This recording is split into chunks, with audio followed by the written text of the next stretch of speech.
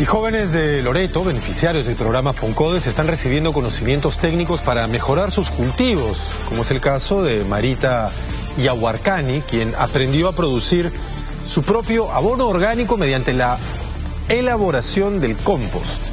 Así fertiliza de manera óptima sus verduras y hortalizas por las que consigue un mejor precio en el mercado generando más ingresos y mejorando la calidad de vida de su familia. El hogar de Marita es uno de los 13.000 beneficiarios en situación de pobreza y pobreza extrema que reciben este impulso para mejorar su economía.